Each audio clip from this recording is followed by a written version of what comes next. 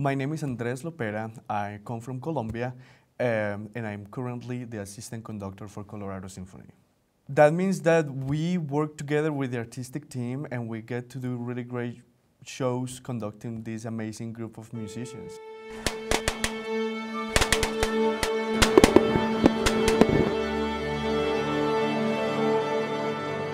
Growing up in Colombia was great. I mean, I grew up in this little tiny town called Donmatías. I got into music thanks to the sponsorship uh, of the government. They had a governmental program, um, and I started playing in a band. And I started discovering the beauties of music, being able to travel to different towns. So that started to broaden my perspective of the country and the cultural diversity. And I started feeling that music can touch people in different ways and just really get to the core of humanity, just being, you know, part of something and, and relating to that that music that is around us. And for me to be invited to come here and to now have the job uh, as one of the conductors in the team for the Colorado Symphony is a huge privilege. Colorado has been amazing. It's, it's been a really great place. I, um, like everything that is happening with the orchestra and outside too. I mean, it's great to being able to just get in my bicycle and go to the concert hall, have a great rehearsal with a fantastic orchestra, get in my bicycle again and go back home.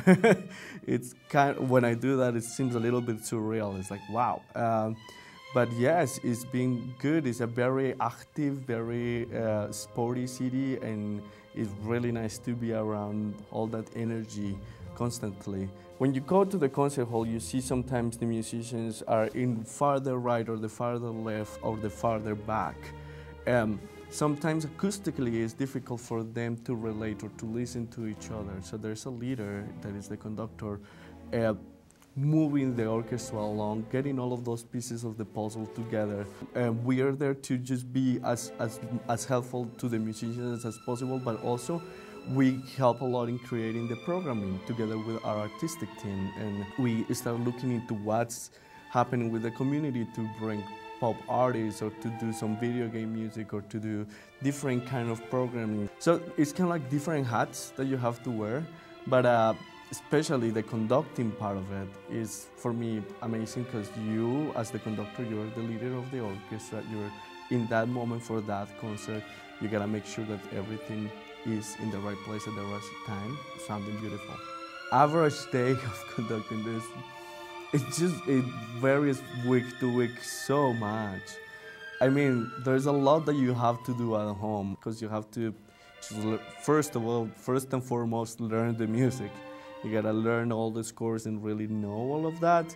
So most of it you do it at home with your piano and with the music that is around you. So it's really kind of thinking a lot in the music and what you're gonna do with it.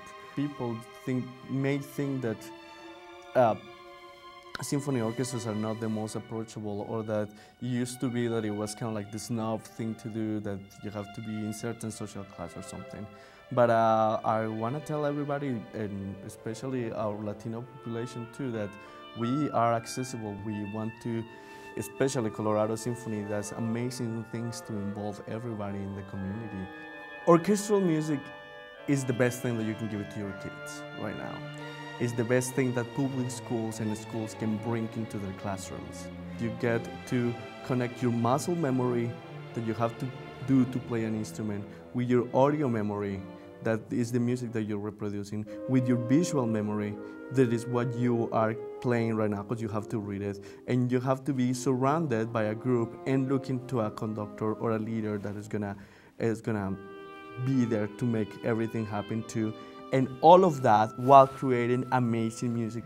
Being and having that time where you are just learning an instrument and being able to create and just be expressive, be creative. Now the world is changing so much, so rapidly, thanks to creativity. And creativity is, it happens learning music, learning the arts. And all of these is expressed also with what we do in Colorado Symphony, especially what happens in our youth concerts where we tell the story of the music, we show what, what's happening in the music, and, and we engage the kids into what's happening with the orchestra. It's important to expose them to that. but also the most important thing, expose them to an, to an acoustic instrument, to, to let's say a piano or a, a violin, um, a viola, a cello, or woodwind instruments, brass instruments. It always is going to help. And, and the group settings of creating music together also helps that collaborative kind of sense that we need so much in society now.